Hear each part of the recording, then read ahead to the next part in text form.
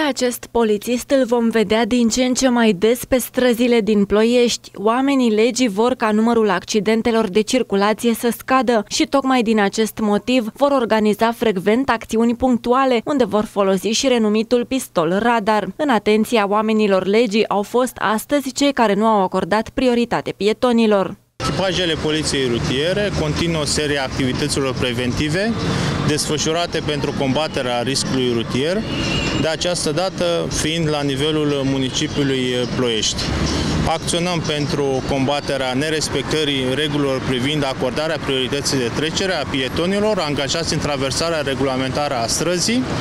Suntem prezenți în, pe arterele principale ale municipiului, cu un dispozitiv uh, flexibil de polițiști rutieri care acționează în anumite intervale, schimbând permanent locul de acțiune și prin utilizarea atât a constatării directe, cât și a uh, mijloacelor tehnice aflate în dotarea poliției, printre care uh, și cunoscutul aparat popular pistol. Însă nu au scăpat neamendați nici șoferii care au încălcat alte reguli de circulație. E o sancțiune de 125 de lei de plătit în 48 de ore lucrătoare și o să primiți și două puncte penalizare pe permisul de conducere. Da?